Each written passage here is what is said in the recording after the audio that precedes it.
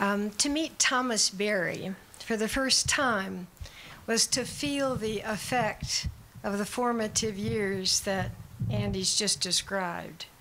An extraordinary human being who sought knowledge not for power or for acquisition, but for understanding. He wanted to understand how we had separated ourselves from the natural world and how we could find our way home. His search developed both the depth of his soul and the breadth of his universal vision.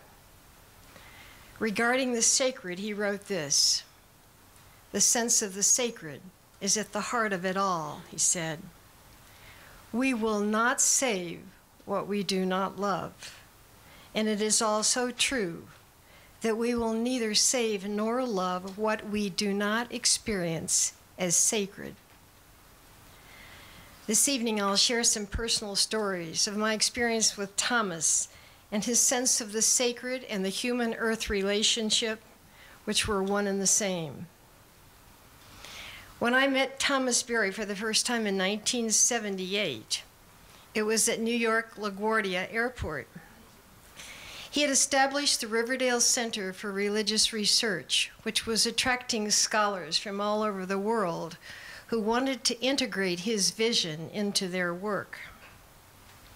His sister had given me a monograph of his to read, the new story it was. And I was so touched by the quality of his thought that I called and asked him if I could come and meet him. And of course, he said, Come right ahead.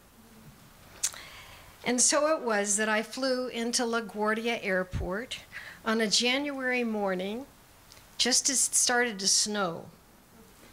I was surprised to find Thomas at the gate to greet me. He was in shirt sleeves, having given his jacket to someone in a London subway who needed it more than he did, his sister later told me.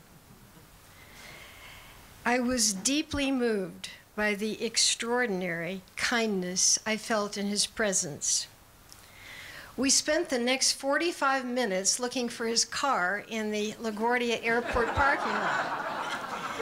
It was true. And when we found it, it was an elderly model in which the window on the passenger side didn't work and the windshield wipers weren't working. But undaunted, Thomas set forth toward the Bronx and the Riverdale Center while the snow slanted in through the side I was sitting on, and he peered cautiously out onto the highway. At one moment, without turning away, he said to me, I hope I'm present for you today. I've just come from a meeting with Jacques Cousteau on who owns the seas. In the years that followed, I studied his writings and I found the sense of the sacred running through all of his work like a golden thread. As Goethe might have put it, the sacred had become the inner tissue of his life as a monk, a priest, a scholar, a cultural historian, a geologian, a shaman, a storyteller. From 1999 to 2009, after my husband's death, and after Thomas had retired from the Riverdale Center in New York and moved back to Greensboro, I had the great privilege of knowing Thomas Berry as a friend, a mentor, and a companion, as he called me. Now, when you look up the word companion in the dictionary, it will say breadfellow, referring to those who traveled together on religious pilgrimages in the Middle Ages and shared bread of all kinds. Thomas had many such companions all over the world, from many walks of life, religious traditions, ethnic backgrounds, who walked with him, seeking a new context a new understanding and new direction for their lives. Companions looking for new ways of seeing and being.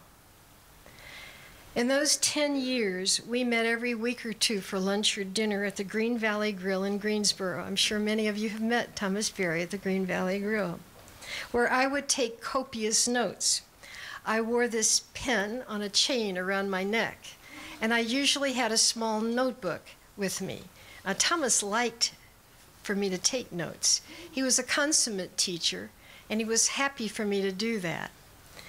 On days that I forgot my notebook, Thomas would push his cocktail napkin across the table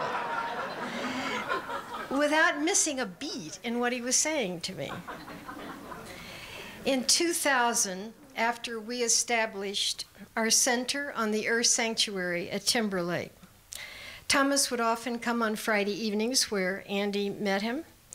Uh, to he would come over and he would speak at gatherings to uh, talk about the human earth relationship made films which highlighted his work, shared meals with companions and visitors who came from all over the world, came for special celebrations, and even on one occasion conducted a baptism for one of my grandchildren at our small chapel. I took him to meetings in Raleigh and Asheville where he did his poetry uh, and visited him every Thursday morning at 10 o'clock in the last year of his life. Though the distance of my physical pilgrimage with Thomas over the years was small, the thoughts of his sense of the sacred radiated out into a vast universe where his mind and spirit lived.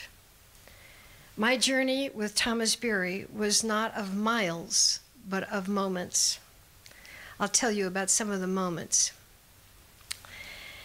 Moment number one I was grateful for an invitation in August of 1999 to meet in Greensboro for dinner at the Green Valley Grill. On the evening we were to meet, however, my heart was heavy with grief and loneliness. My husband had died only eight weeks soon before that.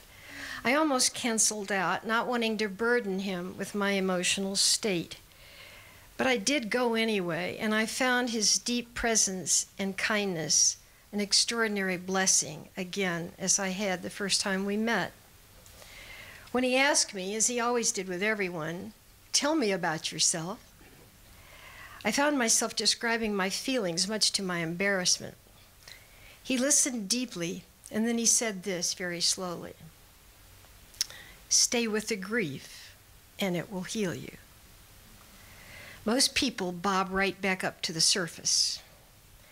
As for your feelings of loneliness and lack of a sense of community, why, you live in the midst of an earth community of trees and rocks and water and creatures who are protecting and caring for you as you are caring for them.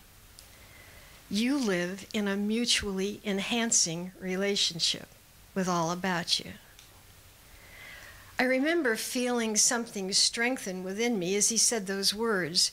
And I felt my darker feelings uncoil as I drove back to Timberlake, reflecting on his words. When I returned home, I walked on the trail in the woods with my small dog and repeated to myself and everything around me a mutually enhancing relationship.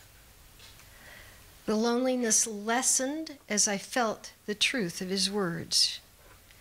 I didn't know it then, but my own pilgrimage with Thomas Berry and his sense of the sacred had begun.